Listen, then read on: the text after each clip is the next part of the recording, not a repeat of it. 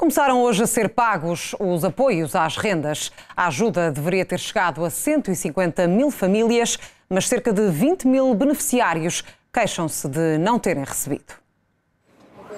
Trata-se de uma medida do programa Mais Habitação que abrange todos os inquilinos com uma taxa de esforço igual ou superior a 35% ou rendimentos anuais até cerca de 36.600 euros, o sexto escalão do IRS. O apoio às rendas entrou hoje em vigor e, conforme avança o Ministério da Habitação, chegou, já no primeiro dia, a 150 mil famílias portuguesas. Em comunicado, a tutela esclarece que o pagamento é feito com retroativos a janeiro e que o valor máximo mensal de ajuda é de 200 euros. No esclarecimento, assinado pela ministra Marina Gonçalves, é ainda deixado explícito que os apoios inferiores a 20 euros são pagos apenas semestralmente. Ao Estado, a medida traduz-se em 240 milhões de euros. Recorde-se que o apoio começou por chegar aos beneficiários da Segurança Social no mês de maio, numa ajuda média de 86 euros por mês. Já na nova ronda de pagamentos, a média é superior